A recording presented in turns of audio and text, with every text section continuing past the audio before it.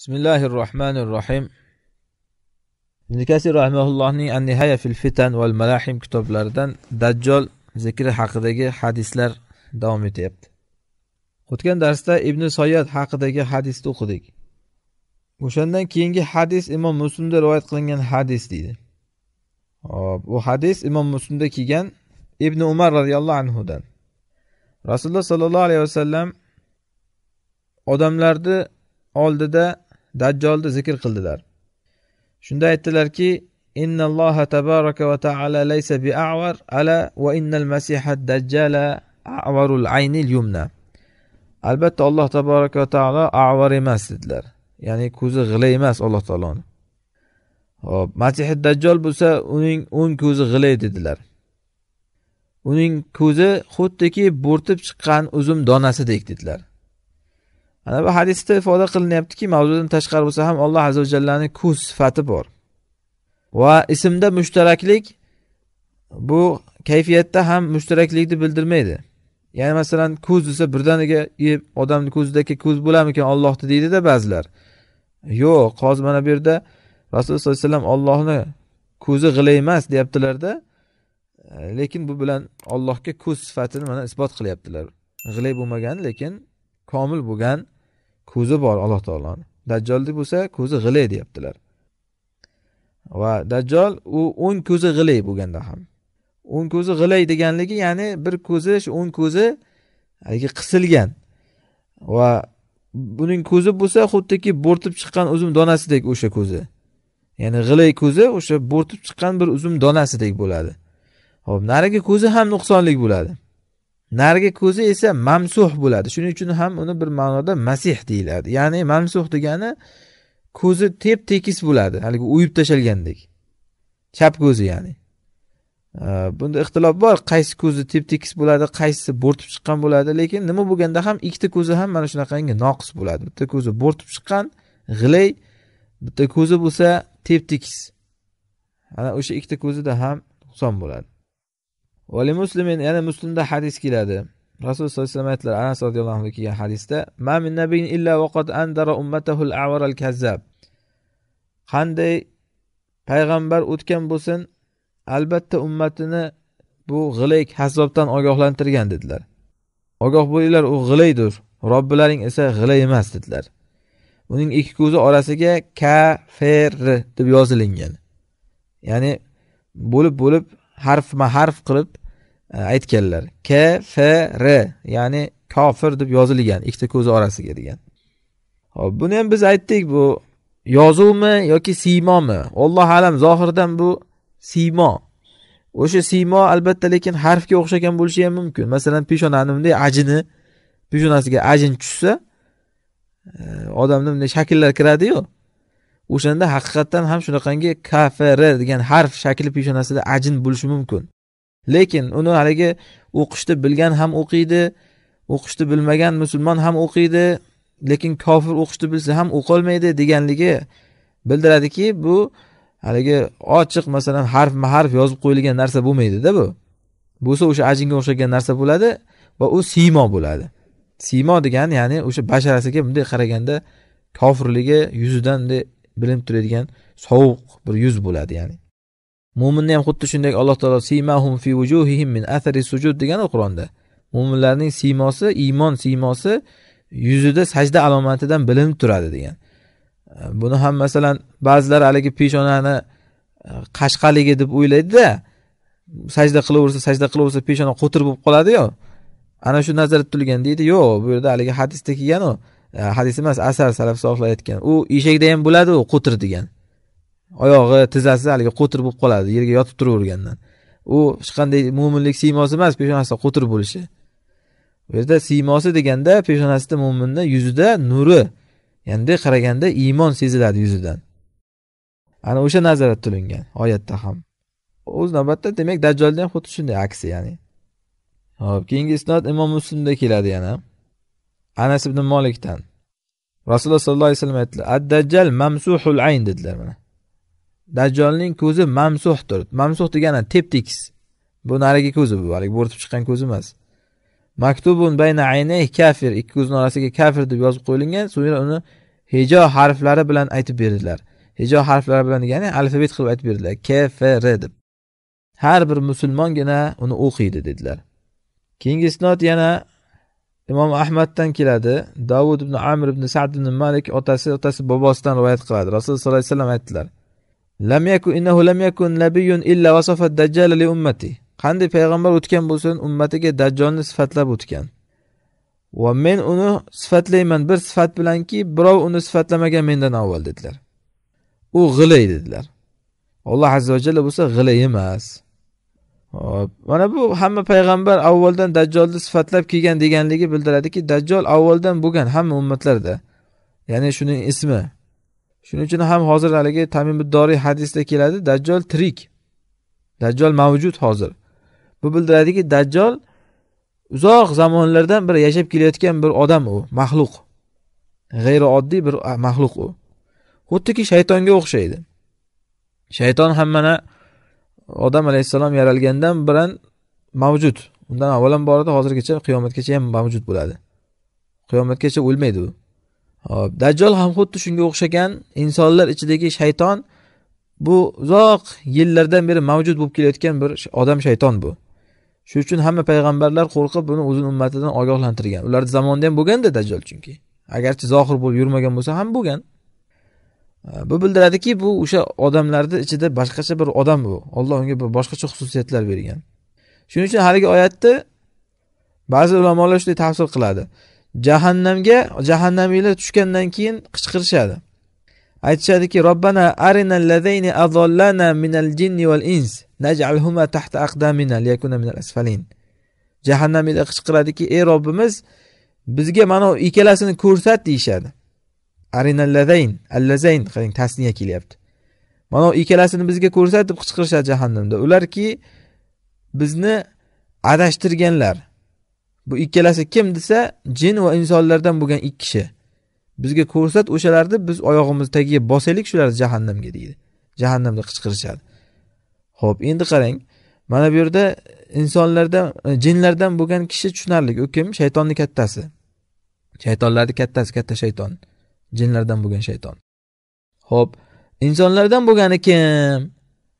Desa insonlardan bo'lgani ana shu dajjol deyishgan ba'zilar aytishgan.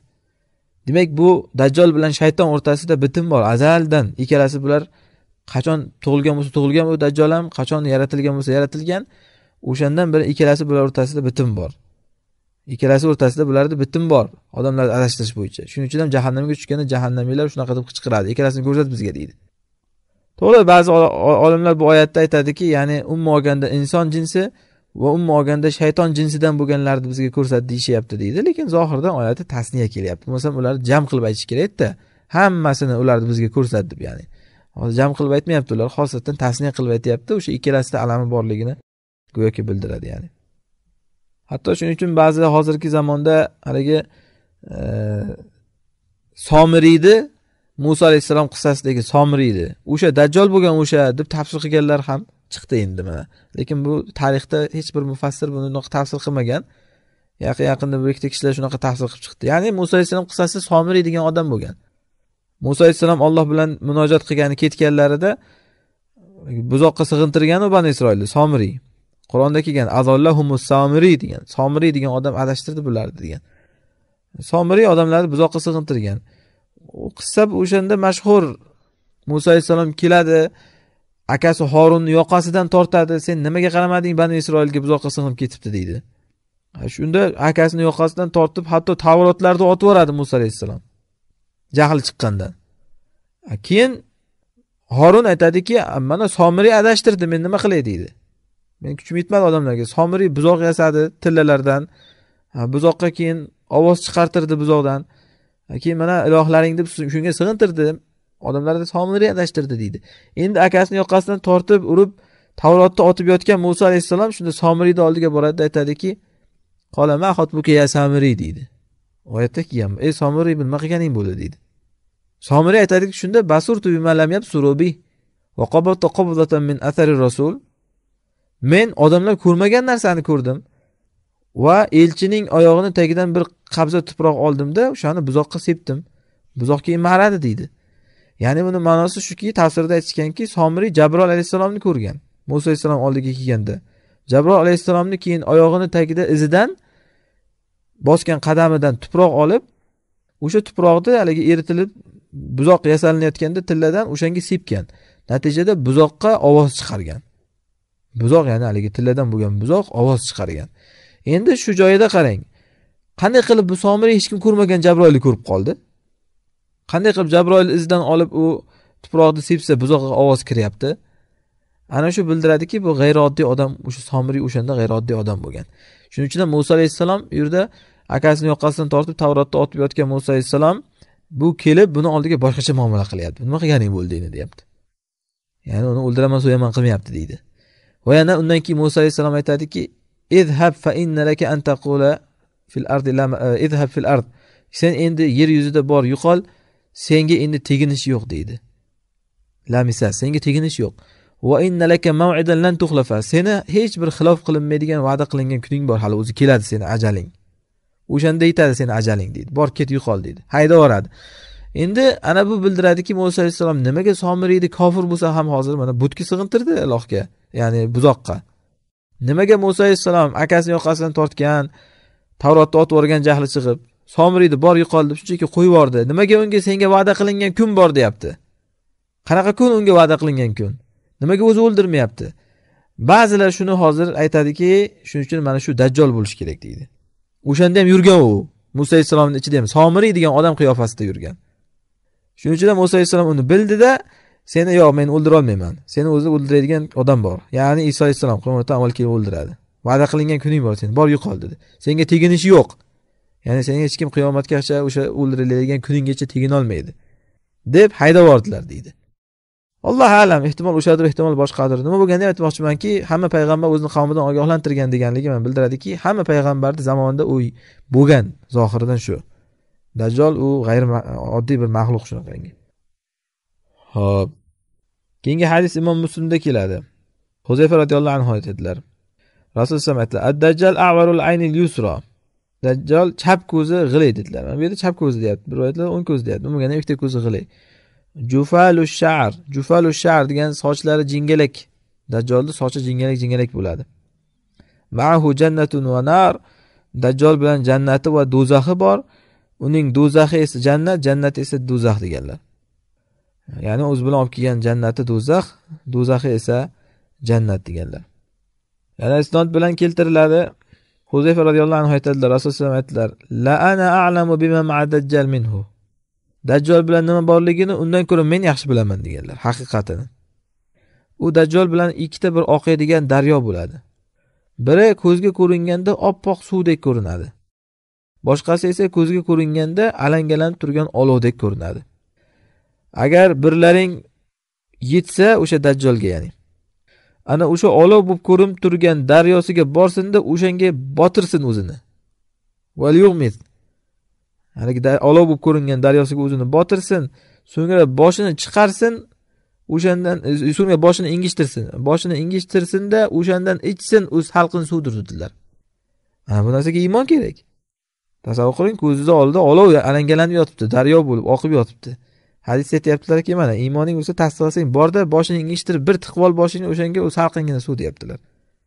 Salqingina suv u. Mana bu narsaga iymon kerak. Tavakkul kerak. Buni aytish oson odamlarga. Masalan bugungi kunda ham aytmaganmi alloh taolo? Yana agar kofirni qarshisida tursanglar sizlar oliysizlar iymon keltirgan bo'lsanglar sizlar oliysizlar. E, otsanglar sizlar otmaysizlar olloh otadi. Odam shunda ham do'xi yetmaydiyu. Shuning uchun buni oson o'ylamaslik kerak ya'ni. Ho'p va yana bu yerda shunaqa ma'no borki u salqin suvdir deganda haqiqatda salqin suv bo'lmasligi ham mumkin u. Ya'ni haqiqiy olov bo'lishi ham mumkin u. Nimaga salqin suv deyapti uni deganda chunki bu odam hozir o'sha bilan jannatdagi salqin suvga erishadi degan ma'no nazarda tutilgan bo'lishi ham mumkin. Kelib bo'lsa haqiqatdan erib oqib ketishi ham mumkin bu odam u yerda. Haqiqatdan erib oqib ketishligi ham mumkin. Xuddiki shahid misoli. Mana shahidda aytilganku hadisda bir chumol chaqqanday bo'ladi shunaqa ko'zini ochsa jannatda turgan bo'ladi. U aralanib ketyapti dunyoda otilib ketyapti chavag'lanib ketyapti masalan. Lekin bir chumol chaqqandek bir e, nimadir bo'ladida shunday ko'zini ochsa shahid o'z o'zidan haligi jannatni daryolarda suzib yuribdi ehtimol bu ham mana shunaqa ma'no nazarda tutilgan bo'lishi mumkin. Ya'ni u o'lgan taqdirda ham o'sha daryoda u yog'i salqin daryo. Dedilar. Dajjol ko'zi tep tekisdir alayha zafaratun g'ariza. Ko'zida qalin terisi bor. Zafara degani teri ko'zida bunday qoplagan uzum donasidek bo'rtib chiqqan dediyu terisi bor. Ikkita ko'zini orasiga kafir deb yozilgan har bir mo'min o'qiydi yozuvni biladigan ham yozuvni bilmaydigan ham. Hop keyin yana imom ahmadda isnod bilan keltiriladi سمعت صخرا يحدث عن سبيع قال أرسلوني من ماه إلى الكوفة أشتري الدواب فأتينا الكناسة فإذا رجل عليه جمع فأما صاحبي فانطلق إلى الدواب وأما أنا فتيته yuqoridagi sohir aytadi subaydan rivoyat qilib meni moh degan joydan kufaga jo'natishdi bir ulov sotib olgani men kunasaga keldim kunasa degani axlatxona yoki o'shanaqangi otxona ya'ni o'sha yerga keldim. Qarasam bir odam o'tiribdi u yerda u odam atrofida bir jamoat bor ekan. Mening sherigim ketdi ishiga hayvonlarni sotib olgani. Men bo'lsa haligi jamoat yig'ilgan joyga keldim. Qarasam bu o'tirgan davradagi to'ridagi odam huzayfa ekan deyapti. Muhimi shu huzayfadan hadis ya'ni. Huzayfa aytayotganliklarini eshitdim. Rasululloh sollallohu alayhi vasallamning ashoblari u kishidan yaxshilik haqida so'rashardi men u kishidan yomonlik haqida so'rardim.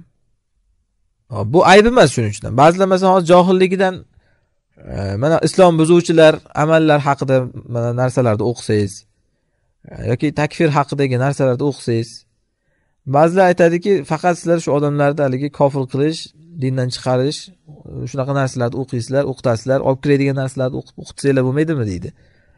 Mayli sen uni qilgin biz buni qilamiz. Nimaga shuni odamlar tushunmaydi? Bu narsa farzi kifoya bu. Odamlar kimdir qilishi kerak uni? Hech kim qilmasa butun ummat gunohkor bo'ladi. Yetmaydimi? Butun ummat masalan faqat shu islomga olib kirish haqida narsalarni gapirib yurganligi yetadi u. E, demak endi kimdir uni olib chiqadigan narsalarni ham gapirish kerakda odamlarni islomdan nima olib chiqishini. Shuning uchun ham mana bu yerda huzayfa roziyallohu anhu o'sha ummatni ichidagi farzi kifoyani ado qilib ketgan mana shu yerda uni. Odamlar yaxshilikdan so'rardi. Ho'p yaxshi. Sen so'raver yaxshilikdan men yomonlikdan so'rayman degan. Bu yerda ham qilish uchun emas o'sha aytgan huzayfani o'zi ham. Odamlar tushunmasligi uchun shu yomonligi degan. Shunda men aytdim ya rasululloh hal ba'da hadal xayri min shar? Mana shu yaxshiligimizdan keyin yomonlik bormi dedim. Rasululloh ha dedilar. Men aytdim undan saqlanish qanday bo'ladi? O'sha yomonliklardan. Rasul aytdilarki qilich bilan dedilar. Buni biz kayfiyatini tushuntirgandik. Ya'ni rasululloh alayhi vafotidan keyin sahobalar o'rtalarida mana ko'p fitnalar chiqdi. Xilofat talashuvlar bo'ldi. O'shanda yechim nima edi? Qilich edi. Ya'ni qilichni ko'tarish kerak edida jihod qilib ketish kerak edi bir joyga. Fitnalarga aralashmasdan. Haqiqatdan shunday qildi ko'p sahobalar. Mana shu uchun qilich deyaptilar. Qola qultu huzayfa aytdilar so'ngra nima ya rasululloh?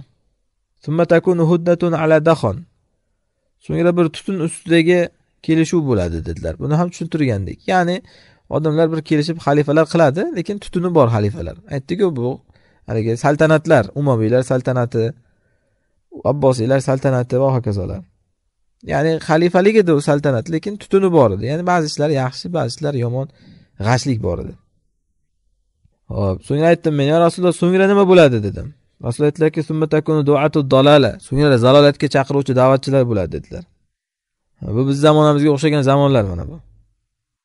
Aytdilarki shunda agar o'sha vaqtlarda yer yuzida bitta xalifani ko'rsang shuni lozim tut dedilar. Agarchi seni jismingni shilib molingni olsa ham. Zolim edi bu edi bu edi qanaqa xalifa bu? Gapni ko'paytirma. Po'stingni shilib molingni tortib olsa ham xalifami yerga tushanga deganlar. Yer yuzida bitta xalifa bo'lsa. Ho'p yo'q desangchi agar. Yo'q xalifa emas desang nima qilasan? Xalifa yo'q bo'lsa. Shuning uchun aytyapti mana. Agar yo'q deb ko'rsang xalifani. Yo'q xalifa emas desang fahrob fil ard qoch yer yuzida qayerga qarab qochadi? Ya'ni qayerga bo'lsa ham qoch iymoningni olib qoch degan. Agarchi bir daraxtning tomirini tishlab bo'lsa ham o'lguningcha yer yuzida qoch deganlar. Ya'ni haligi boshqa rivoyatda keldiyu yatazil tilkal firoqa kullaha degan. Ana o'sha firqacha firqachalarni hammasidan chetlan deganlar. Yer yuzida qoch degandan ma'nosi o'sha. Mana bu firqabozliklarni hammasidan qoch. Birontasiga qo'shilma firqalarni xalifa bo'lsagina qo'shil. Qolgan hammasidan qoch daraxt tomirini tishlab bo'lsa ham bir joylarda o'lib ketib bor deganlar. To o'sha xalifa zamoni kelguncha keyin. Ya'ni o'sha mahdiy zamoni kelgunicha. Shuning uchun ham hozir mana hadisni davomida aytyaptilar mana. Bu o'sha mahdiy zamoni yoki dajjol zamonlaridan avval bo'ladigan voqealarligiga ishorada shuning uchun hadis davomida aytyaptiki so'ngra nima bo'ladi yo rasululloh? Ana qocha qochdan keyin desa aytdilarki so'ngra dajjol chiqadi dedilar. Ana unda ya'ni boradigan joying bo'ladi. Dajjol chiqqanda. Ma'lum dajjol chiqqanda mahdiy bo'ladi mahdiyga borib qo'shilinadi. Mana bu hadis ochiq dalolat qiladiki mahdiy zamonidan avval ana shunaqangi firqabozlik zamoni bo'ladi. To'da to'da. Firqalar.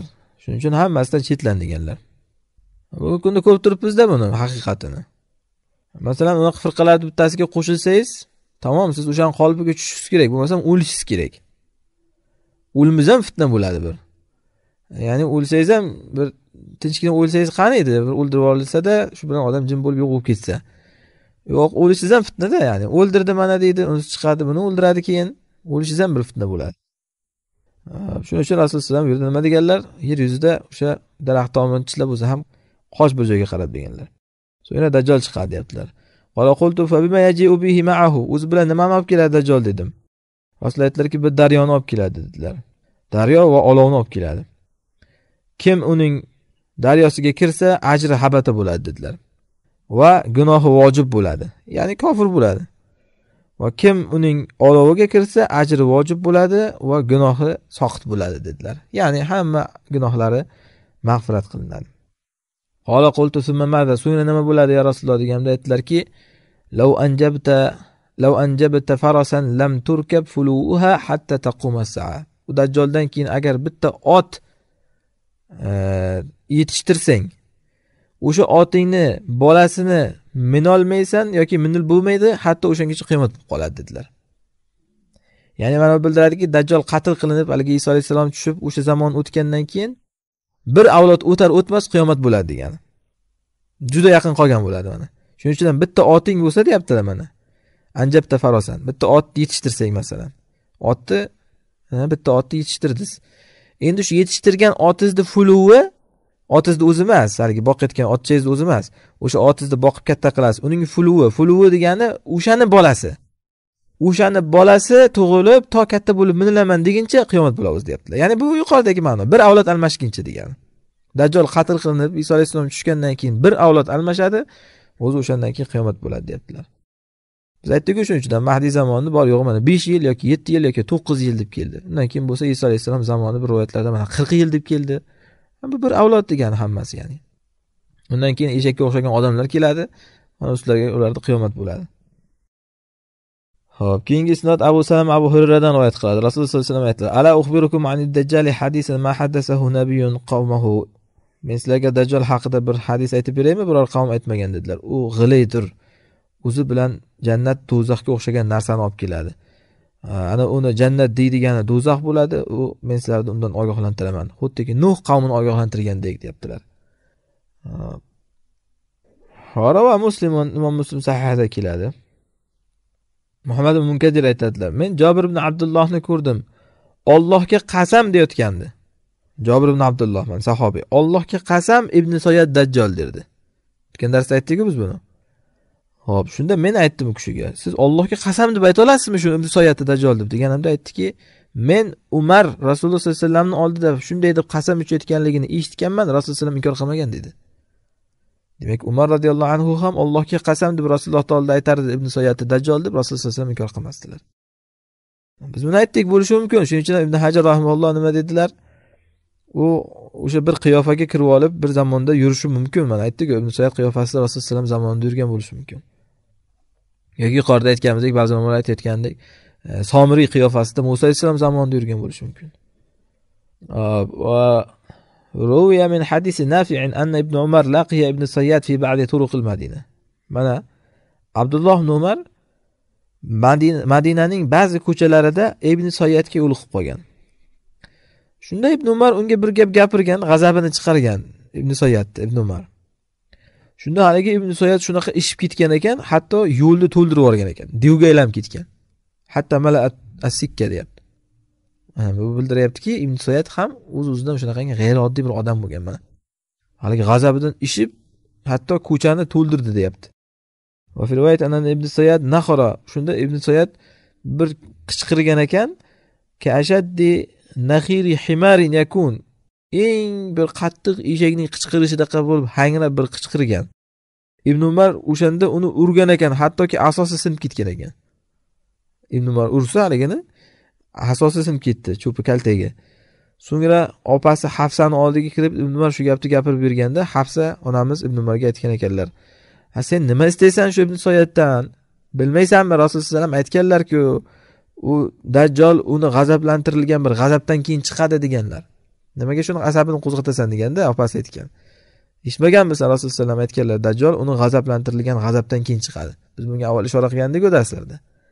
Mana shuning uchun hozir opasi hafsa nima deyapti ibn umarga sen uni g'azabini qo'zg'altirma deyapti. Demak hafsa onamiz ham ibn soyatni dajjol deyaptilar mana. U faqat dajjol bo'lib chiqishligi o'sha g'azabdan keyin bo'ladi. Hop bu g'azab nima bo'ladi? Aytdikku bu g'azab haligi istanbulni fathi bo'ladi. Istanbulni fathidan keyin shu g'azabi qo'zib hamma yoqda musulmonlar egallab olayotganligini ko'rib oxiri keyin yorilib chiqib keladi u. Olloh izn beradi o'shanda chiqib keladi ya'ni. Hop qola ba'zi ulamo ibn kasir aytadilarki shuning uchun ham ba'zi ulamolar aytganki ibn soyatni ba'zi sahobalar ana shuni dajjolul akbar deb o'ylagan. Ha sahobalar buni ba'zilari katta dajjol shu ibn soyat deb o'ylagan. Lekin aslida esa u emas deydi ibn kasir aytyapti. Hop nimaga desa chunki bu oddiy dajjollardan bir dajjol bu deydi sag'ir dajjol bu. Chunki sahih hadisda sobit bo'lgan ibn kasir aytyapti. Bu sahih hadisda kelgan abu said al hudriyga qo'shilib yurgan ya'ni ibn soyat makka bilan madinani orasida. Abu said al hudriyni ya'ni oldida birga yurgan. Va ibn soyat abu said al hudriyga tabarroma ila shikoyat qilgan. Odamlar unga aytayotgan gaplarini. Ya'ni hamma meni shu e, dajjol deydi e, dajjol deb meni shu ajratib qo'yishyapti deb ibn soyat abu said al hudriyga shikoyat qilgan. So'ngra abu said al hudriyga aytganki rasululloh alayhi aytmaganmidilar u madinaga kirmaydi degandilarku deydi. Ha men madinada tug'ilgan bo'lsam. Va rasululloh aytgandilarku dajjolni bolasi bo'lmaydi degan. Ha meni bolam tug'ildi mana degan. Rasululloh aytganlar dajjol kofir deganlar. Ha men mana musulmon bo'ldim degan. Hop shunday deb turib qarang o'zini oqlab ibn soyat keyin nima degan? Shunga qaramay deydi men odamlarni dajjolni eng yaxshi biluvchisidirman degan. Hammangdan yaxshi bilaman men lekin dajjol kimligini degan. Va uni makonini ham yaxshi bilaman degan qarang. Insoyat aytyapti men dajjolni makonini ham yaxshi bilaman. Va agar menga taklif qilinsa o'sha dajjol bo'lishlik men hech yomon ko'rmagan bo'lardim degan. Endi bunga nima deymiz? Ho'p dajjol emas ekan ham deylik. Endi buncha gapi nima degani bu? Dajjolni hammangdan yaxshi bilaman uni qayerdaligini ham bilaman. Dajjol bo'lish taklif qilinsa yomon ko'rmagan bo'lardim yo'q demagan bo'lardim deyapti. Shuning uchun ham aytdiku ho'p ibn soyat dajjol emasdir lekin dajjolni bir qiyofasi u. Dajjolni bir qiyofasi u. O'sha yerda yurgan bo'lgan bir nusxasi ya'ni. Hop endi shuning uchun ham jobir roziyallohu anhudan kelgan mana e, jobirga aytishganda shu gaplarni islomga kirib tukilsa islomga kirsa ham degan. Madinada yurib tukilsa madinada yursa ham degan. Dajjol degan. E, nimaga desa o'sha uchun ya'ni uni bir qiyofasi bu yerda yuribdi degan. Dajjol madinaga kirmaydi dajjol kofir degani u haqiqiy dajjol bo'lib kelgan paytda bo'ladi u. Hop keyingi istot abu said al hudriydan keladi. Zukira ibn soyat endi rasululloh sallallohu alayhi vasallam rasulullohni huzurida ibn soyat zikr qilindi. Shunda umar aytdiki u o'zini davo qilyapti ibn soyat nimani oldidan o'tsa unga gapirarmish degan. Ibn soyatga butun narsalar tog' toshlar gapirar ekan. Nimani oldidan o'tsa narsalar unga gapirar ekan mana. E, Umar roziyallohu anhu hozir mana shuni eshitib kelib rasululloh sallallohu alayhi vasallamga aytganlar. Bu ham g'ayrioddiy bir xislat. Xuddi kani somiriyga o'xshayaptida mana shu joyi ham. E, jabroil ko'rib qoldim uni oyog'ini tagidan keyin tuproq oldim buzov gapirdi deb shunga o'xshayapti mana. Yana imom ahmaddan keladi. Hop abu tufayldan rivoyat qilinadi. Suila abu tufayldan so'ralindi. Rasululloh sallallohu alayhi vasallamni ko'rganmisiz deyilganda abu tufayl aytdiki ha men ko'rganman dedi. Gaplashganmisiz deganda yo'q dedi. Gaplasholmaganman. Lekin men u kishini ko'rganman palon palon makonlarga borganligida dedi.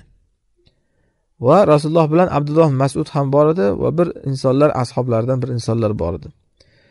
Hatto atav daron qavro bir hovliga borishdi rasululloh sahobalar bilan. Daron qavro degani keng bir hovli.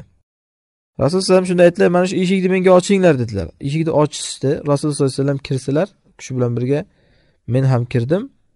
Qarasam bir yopinchiq uyning o'rtasida turibdi. Rasululloh mana yopinchiqni ko'taringlar dedilar. Ko'tarishdi. Qarasalar bir g'ilay bola yotibdi yopinchiqni tagida. Shunda to'rvoy bola dedilar. Ana shu ibn soyat bo'lgan. Haligi bola turdi. Shunda rasululloh ey bola dedilar. Men ollohni rasuli ekanligimga guvohlik berasanmi? Bola aytdiki men guvohlik beraman o'zimni ollohni rasuli ekanligimga dedi. O'zini ibn soyat aytyapti. Shunda haligi rasulullohga qarab aytyapti. Yoki rasululloh unga qarab keyin yana aytdilar sen atashhadu anni rasululloh meni ollohni rasuli deb guvohlik berasanmi? dedilar.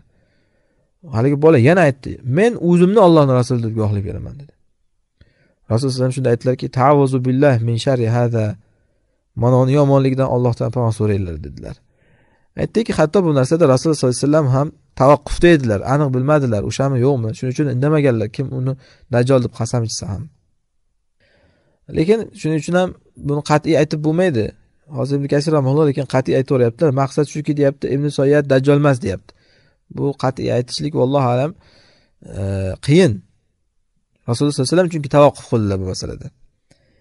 Ibn kasir endi dalillarga qarab aytyaptiki ibn soyat dajjol emas deyapti. U oxir zamonda chiqadigan dajjol emas qat'an deyapti. Nega desa chunki fotima binti qoysni hadisi bor. U mana shu maqomdagi fosiladir ya'ni mavzuni yechimidir deyapti. Fotima binti qoys hadisi deganda haligi tamimuddoriyni hadisi dajjolni ko'rib kelishgan oroldan. O'shani aytmoqchi ibn kasir rahmaulloh bu qanday bu masalaga yechim bo'ladi desa dajjol chunki orolda bog'lanib yotgandi deyapti ibn kasir. To'g'ri orolda bog'lanib yotgandi biz aytyapmizu dajjol g'ayrioddiy maxluq. Ibn hajar aytganidek u orolda bog'lanayotgan holatda uni bir qiyofasi manada yurgan bo'lishi ham mumkin. Ho'p qisqasi endi shunday deb mana tamimuddorini hadisiga kirishyapti. Bu hadisni ham o'qiymiz. Fotima bin qoyisdan kelgan hadis bu dajjol haqida. Imom muslim o'zlarini sahihlarida rivoyat qilganlar bu hadisni amir ibn shurahbil ash shabiy aytadilar. Annahu sala fatima bin qays o'sha kishi sahobiyga fotima binti qoyisdan so'radi. Bu sahobiy dohak ibn qoyisning uxti.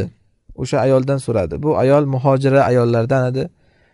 Eng avval hijrat qilgan muhojira ayollardan edi. O'sha kishiga aytdiki menga bir hadis aytib bering. Ya'ni fotima binti qoyisga aytishyapti. Rasululloh sallallohu alayhi vasallamdan eshitgan bir hadisingizni uni boshqaga birovga nisbat bermang. Rasulullohdangina eshitgan hadisingizni aytib bering menga dedi. Hop faqolat fotima binti qays aytdiki shunda la in la afalanda shunday qilsang shunday istasang ho'p aytib beraman dedi. Faqola ajal ho'p ayting dedi. Haddisini. Faqolat fotima binti qays aytdi. Men mug'iratimni men mug'ira ibn mug'iraga yerga teggan edim. Ibn mug'ira o'sha kunlarda quraysh yigitlarining eng yaxshilaridan edi shunda u rasululloh sallallohu alayhi vasallam bilan birinchi qilgan jihodlaridayoq musibatlandi shahid ketdi ya'ni. Men beva qolganimdan keyin abdurahmon avf menga sovchi qo'ydi. Bir guruh sahobalar ham rasululloh alayhi vasallam sahobalari menga sovchi qo'ydi. Va meni rasululloh sallallohu alayhi vasallam ham o'zlarini mavlolari usama ibn zaydga so'radilar. Demak hamma sahobalar sovchi qo'ya ketdi. Hozir mana bu yerda rasululloh sallallohu alayhi vasallam ham o'zlarini haligi mavlolari usama ibn zaydga sovchi qo'ydilar. Ya'ni o'shani nomidan sovchi bo'ldilar. Men menga aytilgandiki rasululloh sollallohu alayhi vasallam aytgan ekanlar kim meni yaxshi ko'rsa usomani yaxshi ko'rsin degan ekanlar. Rasululloh sallallohu alayhi vasallam menga usoma haqida gapirgandan keyin men aytdimki ya rasululloh ishim qo'lingizda. Xohlagan odamingizga o'zingiz nikohlavering meni dedim. Shunda rasululloh alayhi vasallam aytdilarki sen ummu shariknikiga ko'chib tur dedilar. Ya'ni iddasi tugaguncha. Hozir bu iddani orasida tariz bo'lganda bu hali. Hech kim ochiq sovchi sovchi qo'yolmagan tariz bo'lgan. Shuning uchun rasululloh alayhi aytganlarki iddang tugaguncha sen ummu shariknikiga ko'chib tur deganlar. Ummu sharik boy ayol ansorlardan boy ayol. Alloh yo'lida nafaqasi ko'p ayol. Ya'ni qiynalmay o'sha yerda yashaysan deganlar. Oldiga mehmonlar keladi uni. Men aytdim ho'p shunday qilaman dedim. Rasululloh keyin aytdilarki yo'q unday qilmagin dedilar. Chunki ummu sharik mehmoni ko'p ayol. Men yomon ko'ramanki sendan bir ro'moling tushib ketsa boshqa bo'lsa bir kiyiming ochilib qolsa boldiring ochilib qolishi mumkin. Unikiga kelgan mehmonlar qavm sendan ba'zi sen istamagan narsalarni ko'rib qolishi mumkin deganlar. Ya'ni kirdi chiqdisi ko'p ayol ummu sharik o'shanikiga borma qo'ya qol deganlar boshqasinikiga bor degan. Sen amakingning o'g'li abdulloh ibn amir ibn maktumnikiga bor deganlar. U ya'ni ko'zi ko'r kishi.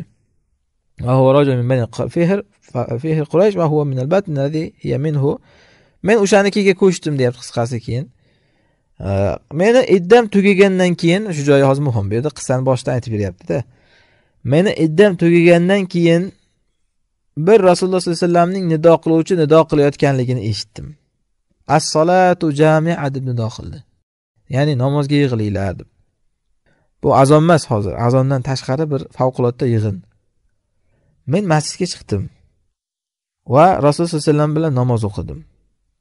Va men qavmning orqasidagi ayollarni safida edim deyapti. Shunda rasululloh sollallohu alayhi vasallam namozlarini tugatgandan keyin minbarga o'tirdilar kulib minbarga chiqdilar. Aytdilarki har bir inson o'zini namozgohini lozim tutsin ya'ni hech kim o'rnidan qimirlamasin dedilar. So'ngra aytdilarki men sizlarni nimaga jamladim bilasizlarmi? Sahoba alloh rasuli alam deyishdi. Rasululloh alayhi aytdilarki men allohga qasam sizlarni bir rag'bat uchun ham yoki bir rahbat ya'ni qo'rqitish uchun ham jamlamadim dedilar. Ya'ni biror narsa beraman deb yiqqanim yo'q sizlarni masalan bir g'animat taqsimlayman deb. Yoki biror urush purushga olib ketish uchun qo'rqitib yiqqanim yo'q sizlarni dedilar. Lekin men sizlarni yig'dim chunki tamim uddoriy nasroniy odam keldi bayat berib islomga kirdi dedilar. Va menga bir hadis aytib berdi tamim uddoriy hozir islomga kirib. Bu men sizlarga masihi dajjol haqida aytib yurgan gaplarimga muvofiq bo'ldi dedilar. Demak mana bu hadis tamimi doriyni fazoillaridan. Shuning uchun ham ibn hajar imom navoiy rahmaullohlar aytganki mana bu hadisni hozir rasululloh sollallohu alayhi vasallam tamimi doriydan rivoyat qilyaptilar. Bu katta fazilat. Rasululloh sollallohu alayhi vasallam kimdan rivoyat qilyaptilar? Tamimi doriydan rivoyat qilyaptilar. Mana bunda dalil borki afzal odam mavzuldan rivoyat qilishligi ya'ni hech qanday bu nuqson emas. Rasululloh sollallohu alayhi vasallamdek zot nasroniy bo'lib yurgan hozir kelib bayat bergan tamimu doriydan hadis rivoyat qilyaptilar. Tamimu doriydan ya'ni qissa rivoyat qilyaptilar. Rasululloh sallallohu alayhi vasallam aytyaptilarki tamimu doriy menga aytib berdi u bir kemaga chiqibdi dengizda. O'ttizta bir lahm qabilasidan bo'lgan kishilar bilan o'ttiz kishi bular lahm juzam qabilalaridan kemaga chiqishibdi. Ularga dengiz o'ynab to'lqini bir oy dengizda ularni o'ynab so'ngra ular bir dengizdagi orolga chiqarib tashlanibdi ular ya'ni to'lqin bo'lib to'lqin ularni urfiu ila jaziratin fil bahr dengizdagi bir orolga chiqarib tashlagan. Hayna mag'ribi shams quyosh botayotgan vaqtda. Va jalasu fi aqrubi safina shunda ular kemaning qayiqlariga o'tirib orolga kirishibdi. E, kemadan qayiqlarga tushib qayiqlar bilan orolga kirishgan. O'sha orolda ularga bir hayvon yo'liqibdi dabbatun ahlab bir maxluq junlik bir maxluq. Kasiru shar. Ko'p junlik bir maxluq. Hattoki uni oldi orqasidan bilib bo'lmaydigan juni ko'pligidan. Hamma yog'i jun bir maxluq yo'liqibdi shunda ular aytishibdi holingga voy bo'lsin sen nimasan nima balosan sen? deb haligi maxluqqa qarab aytishgan. Shunda ular aytishganki men jassosaman degan. Jassosa ya'ni josusdan olingan haligi ayg'oqchiman degan. Ya'ni o'sha dajjolni ayg'oqchisi. Ular aytishganki u nimasi u jassosang? desa aytganki ey odamlar degan.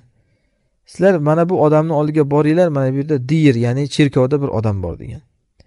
U sizlarning xabarlaringga juda muhtoj. Menga ishlaring bo'lmasin men o'shani elchisiman degan. Hop dori shunda aytganlarki qola bizga o'shanaqangi bir odam bor degandan keyin biz qo'rqdik bu bir shaytonmikan bu nima balo bu dedik. Haligi junlik maxluqni ya'ni. Va tezda ketdik va o'sha cherkovga kirdik deyaptilar. Qarasak katta bir odam biz ko'rgan eng bir odamlarni ichida kattasi bir xalqati katta bir odam va juda qattiq bog'lab tashlangan odam. Qo'li bo'yniga qilib jamlanib bog'lab tashlangan ekan. Tizzasidan to'pig'igacha temir bilan bog'lab tashlangan katta bir div. Shuning uchun ham haligi hamma millatda shu bir ko'zlik div ertaga qolib ketganda hamma millatda div bog'lanib yotgan bir kun chiqib keladi kishanlarni uzib degan ertaklar bor hamma millatda. Bu o'sha dajjoldan kirib qolgan narsada bu ya'ni. Qulna biz aytdik voylak seni holingga voyl bo'lsin. Sen nimasan sen dedik. U aytdiki sizlar meni xabarimni endi qodir bo'ldinglar ya'ni hozir bilasizlar meni kimligimni. Sizlar o'zlaring menga xabar qilinglar. Sizlar kimsizlar? Qolu ular aytishdiki biz arablardan bir odamlarmiz deyishdi. Biz dengizda kemaga mindik va dengizga mana dengiz quturgan paytda yo'liqibmiz biz. Dengiz bizni to'lqinlari o'ynab bir oy oxiri mana shu seni orolingga olib kelib tashladi bizni dedi. Shunda biz kemani qayiqlariga o'tirdik. Orolga kirdik. Biz junlik bir maxluq bizga yo'liqdi. Biz uni orqasini orqasi oldidan ajratolmadik juni ko'pligidan.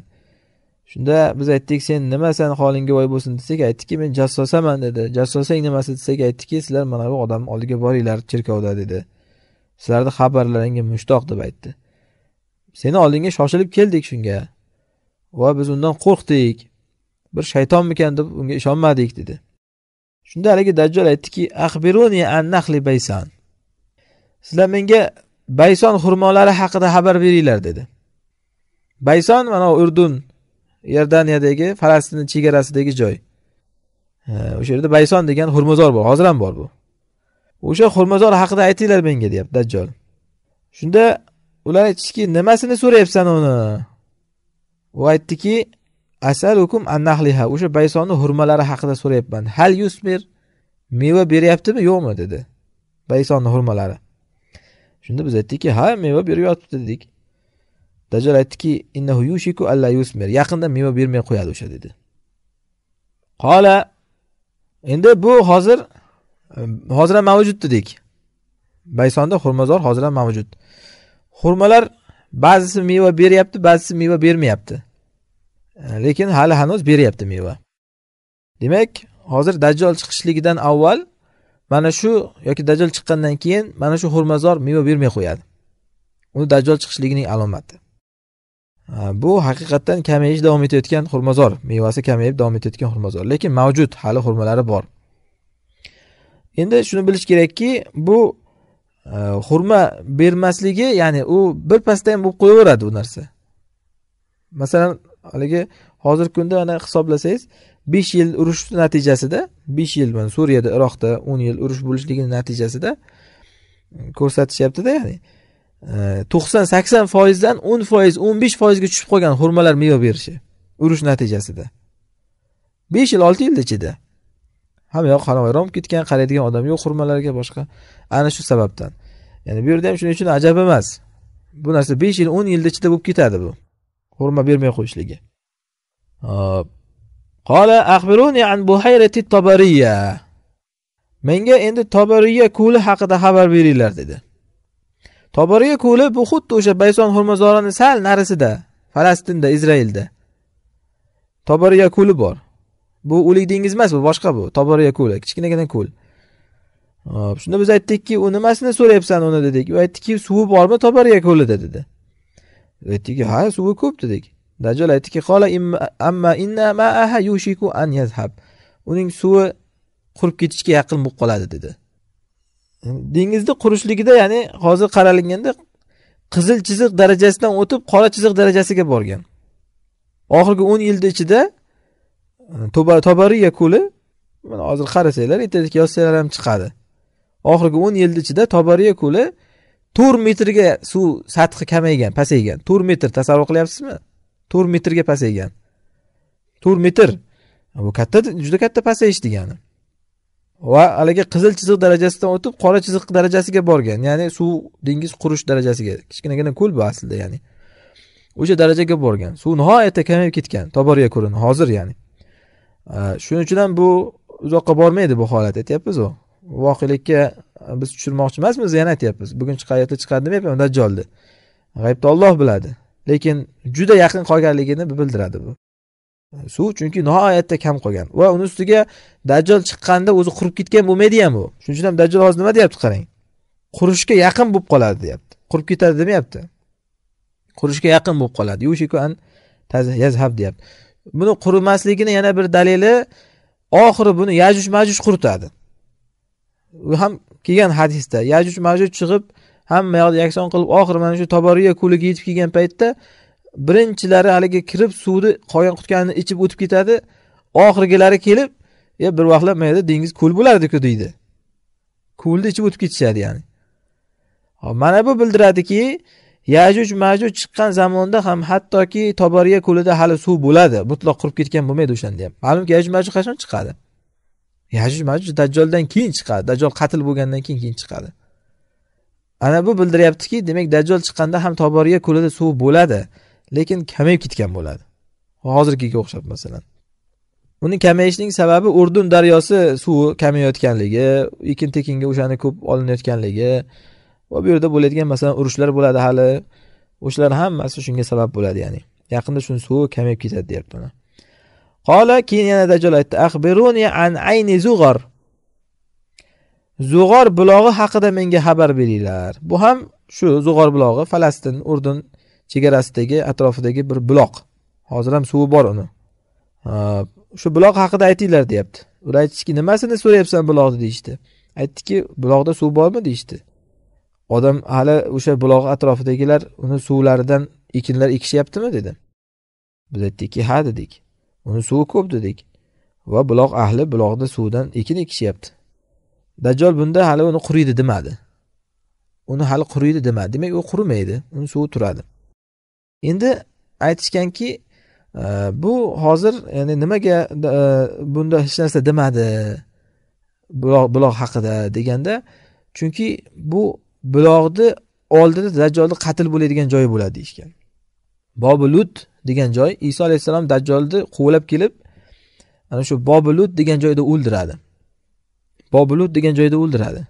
Mana shu izroilda e, hozir qarang shuning uchun ham bu dajjolni so'rayotgan hamma narsalari e, haligi nahli baysoni bo'lsin toboriya ko'li bo'lsin ayni zug'ori bo'lsin bular hammasi izroil falastin urdun chegarasidagi joylar. Ya'ni yahudlarni qo'l ostidagi yahudlarni e, mintaqalaridagi joylar bular hammasi. Mana bu ochiq dalolat qiladiki yahudlar kutayotgan haligi payg'ambari o'sha dajjol ekanligi. Shuning uchun ham ayni o'sha narsalar haqida so'rayapti. O'sha yerlarga keladi o'zi bu. O'sha yerlarda yahudlar bularni e, ya'ni kutib turibdi mana. Shuning uchun aynan o'sha joylar haqida savol beryapti bu yerda.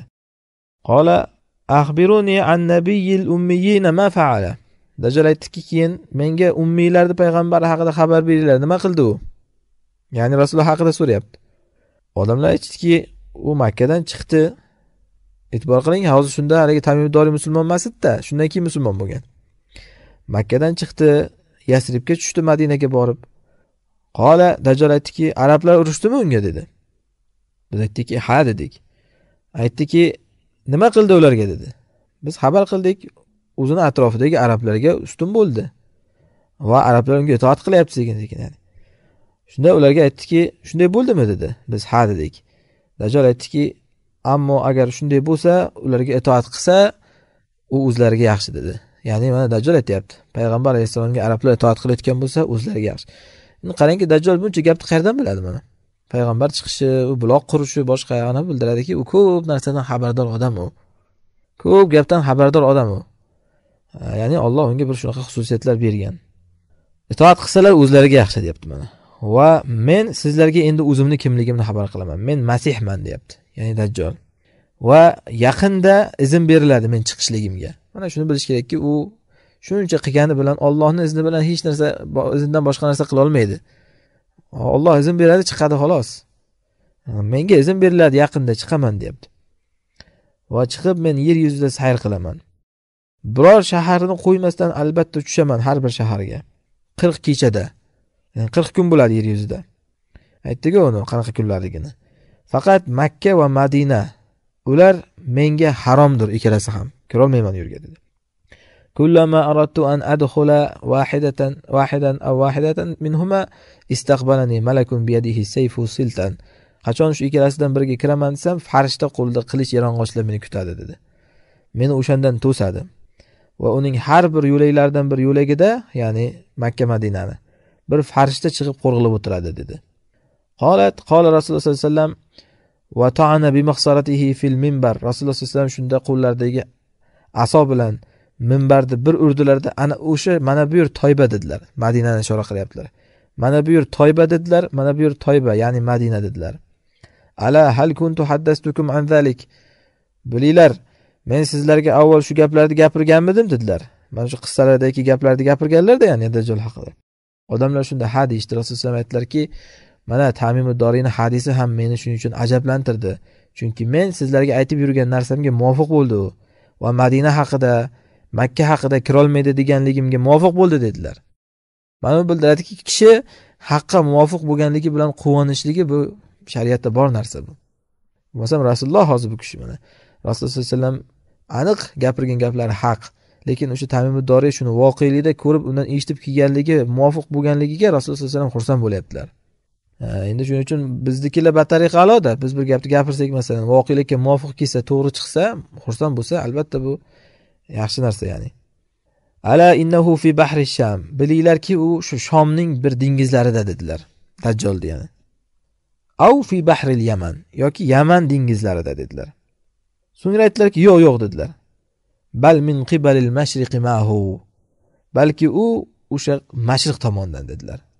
Demak rasululloh sallallohu alayhi vasallam ikkilandilar. Yo shom tomonda dengizlarda. Hop endi shomda qayerda dengiz bor qarang. Shomda dengiz birinchidan haligi nima o'lik dengiz bor. O'lik dengiz. Lekin ma'lumki o'lik dengizga u haligi arab diyorlaridan borib qo'shiladigan joyi yo'q hech qanaqa. Ya'ni kiyim o'ynatib olib borib tashlaydigan. Hozir tamimidoriy qayerdan chiqqan? Madinadan chiqqan. Kemaga chiqqan ya'ni o'sha makkadan. Qayerga kemaga chiqqan? Makkadan madinadan chiqsa. Makkadan madinadan kemaga chiqsa mana bu tomondagi afrika bilan saudiya orasidagi qizil dengiz o'rtada bor. Qizil dengiz. O'sha qizil dengizga boradi. Makkadan chiqsa ham madinadan chiqsa ham dengizga o'sha yerda boradi. Shuning uchun hozir qizil dengiz qayerga boradi borsa? Qizil dengiz borsa yuqorida borib suveysga qo'shiladi. Suveys kanaliga. Suveys kanali u qayer suveys kanali atrofi sino mana. Sino. Hop sinodan sino albatta shomga kiradi. Shuning uchun hozir shom dengizida deyaptilar. Ya'ni o'sha tomonlarda. Hop u yog'i keyin suveysdan o'tsa o'rtadagi dengizga qo'shiladi. Turkiya bilan misr orasidagi dengizga. O'ng tomoni suriya va hokazo ana joylarga qo'shiladi. Shuning uchun ham shom dengizida dedilarda yoki yaman dengizida dedilar. Ya'ni yaman dengizi qayerda? Yaman dengizi pastga tushasiz. O'sha qizil dengizdan. Tepaga qarab suetsga qarab ketmaysizda qizil dengizdan pastga qarab tushib kelasiz pastga qarab tushib kelgandan keyin arab yarim orolini tagi yaman. Hind okeaniga qo'shiladigan joyi. Yaman. Shuning uchun ham aytdilarki yoki o'sha yaman dengizi yaman tomon dedilar. Chunki borsa shu ikki tomonni birga boradida yoki tepaga qarab shomga chiqadi yoki pastga qarab yaman tomonga tushadi ya'ni. Orol o'sha yerlarda orollarga bironta orolga olib borib tashlagan bo'lishi mumkin ularni dengiz. Shunday deb turib keyin aytdilarki yo'q yo'q dedilar. U mashriq tomonda dedilar. Min qibalil mashriqi mahu degani ma bu yerda nafiy emas ma bu yerda sila ya'ni zoida ya'ni ma'no berilmaydi bu yerda unga. Manfiy ma'no berilmaydi. U mashriq tomondagidir dedilar. Innahu degan ma'noda. U dajjol mashriq tomonda dedilar. Ya'ni ikkilandilar. Yo o'sha shom yoki e, yaman yoki mashriq tomonda dedilar. Zohiri shu. Chunki o'sha dajjolni chiqib kelishlik hadislarida kelgan u mashriq tomondan chiqib keladi.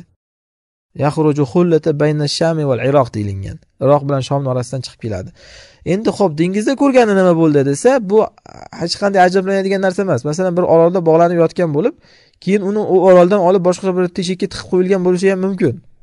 Olloh uni yashirib qo'ygan bo'lishi ham mumkin. Xususan bugungi kunda masalan mana qizil dengiz atrofidagi orollarni u yoqlarni hamma yog'ini odamlar egallab titib tashlagan. U yerda e, hech qanaqa haligi odamzod oyoq tegmagan joylar qolmagan deyarli ya'ni hamma orollar u yerda kashf qilinib odamlar borib u yerlarga ko'rib hamma narsa u yerda fosh bo'lib bo'lgan. Hech qanaqa dajjol yo'q u yerlarda. Э, shuning uchun u o'sha zamonlarda o'sha orolda bo'lgan bo'lsa keyinchalik uni olinib iroq bilan shomdagi bironta g'orga ham biron joyga ham tiqib qo'yilgan bo'lishi ham mumkin bu. Shuning uchun ham hozir rasululloh avvalida e, uni iroqda e, shomda yoki e, nimada deb keyinchalik mashriq tomondan deyaptilar mana. Bir rivoyatda xurosondan chiqib keladi degan bir rivoyatda asbahondan chiqib keladi degan. Hammasi o'sha mashriq tomondanligiga ishora ya'ni. Xurosondan desa tushunarli bu afg'onistondagi tog'larda bir joydan chiqib keladi ya'ni.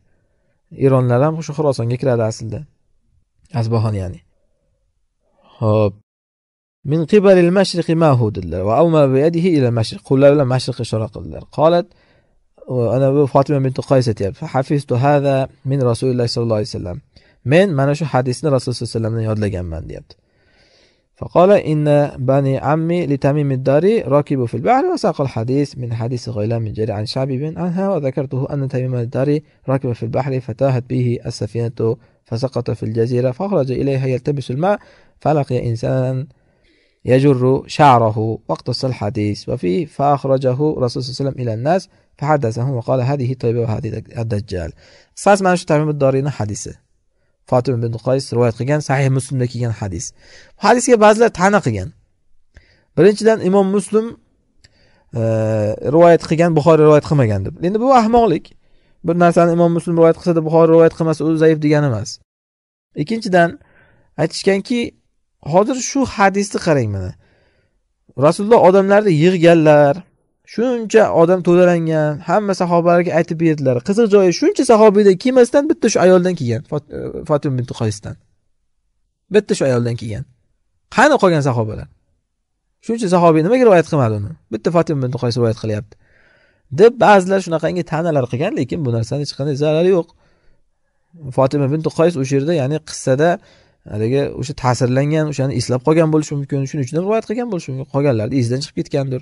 Bu hech qanaqangi ziddiyat narsa emas. Ya'ni xabar vaqt deb turib rad qilishga haligi odamni majburlaydigan narsa emasda. Chunki aslida o'sha xabar vaqtni olishlikka dalil shu qissani o'zida bor. Hozir tamim doriyni hadisini rasululloh sollallohu alayhi vasallam bitta tamim doriyni o'zidan eshitib turib biz ummatga rivoyat qilyaptilarmi? Qissasini. Tamim doriy xabar vaqt bo'lmaykin bo'lib ham tamim doriy kechagina nasoniy bo'lib yurgan odam. Kechagina nasoniy bo'lib yurgan odam. Bitta shu tamim doriyni gapiga ishonib hadislarga mana bu yerdagi boshqa hadislarga to'g'ri kelganligi uchun rasululloh sallallohu alayhi vasallam shuni ummatga rivoyat qilib qoldiryaptilar tamom undan keyin ham xuddi shunday fotima binti qoyis bitta ayol bo'lsa nima qilibdi? Uni o'sha hadisi boshqa hadislarga muvofiq kelyapti. To'g'ri ba'zi ziyodalar bor. Shuning uchun buni rivoyat qilinaveradi hadis aslida imom muslimdaligi bizga yetadi. Ummat bu imom muslimni kitobini sahih deb qabul qilgan. Uni endi hech qanday rad qilishga hojat yo'q. Hadis sahih shuning uchun ham ya'ni. Qissada mana yuqorida aytganimizdek o'sha xabar vaqti olinishiga dalil bor. Yana qissada bir foyda borki hadisni tahammul paytida kofir bo'linishi zarar qilmaydi ado paytida musulmon bo'lsa. Bu nima degani? Hozir tamimuddoriy qissani ko'rgan paytida kofir edi. Lekin kelib aytib berishida nima bo'ldi? Musulmon bo'ldi. Ana bu dalolat qiladiki bir kofir xabarni ko'rgan bo'lsa keyin musulmonligida bizga aytib bersa biz uni olaveramiz. Chunki rivoyatni ado qilish holati muhim olish holati emas olishligida kofir bo'lganmi olishligida fosiq bo'lganmi farqi yo'q. Bizga ado qilayotgan paytda musulmon adolatli inson bo'lsa bo'ldi ya'ni. Ho'p allohu alam mana shu yerda to'xtaymiz. Bu hadisni ba'zi yana turuqlarini keyingi darsda keltiradilar.